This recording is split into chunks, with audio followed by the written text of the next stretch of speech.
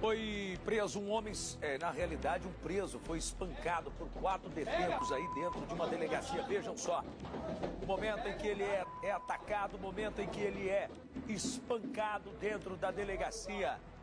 A vítima foi agredida por pelo menos cinco homens.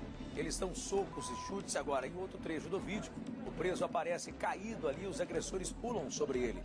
Segundo a polícia, o rapaz agredido havia sido preso horas antes por suspeita de assassinar a ex-namorada. Além de investigar as agressões, a polícia de Camaçari, na Bahia, quer saber como um aparelho celular também. Ah, tá! Se vocês estão aí, são polícia, querem saber como a, o celular entrou aí dentro. Ah, oh, aí também, né, bicho? Tô ficando é bem. Não é doido, não. Se vocês estão aí, né, trabalham aí, querem saber como que o celular entrou aí dentro, ah, não sei, né? Vamos, jogar cartas, vamos jogar tarô. Talvez lá tenha a resposta que vocês tanto precisam. Tá de sacanagem comigo. 7h24, o Brasil tá com o Marcão.